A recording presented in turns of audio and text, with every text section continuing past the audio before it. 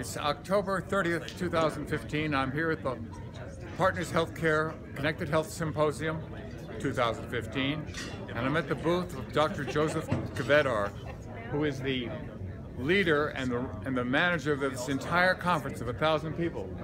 And it's his book, The Internet of Healthy Things, that is a roadmap, a, a pioneering book that will show everyone how to connect people to the internet, to their health care, and I'm happy to be part of it uh, with the wholebrainfoundation.org.